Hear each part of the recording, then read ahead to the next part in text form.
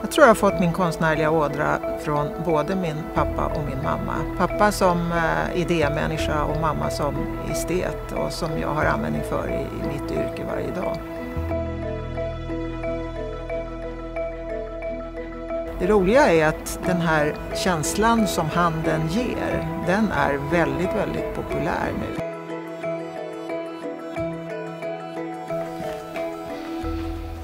Hej, jag heter Synnöve Mark och är formgivare.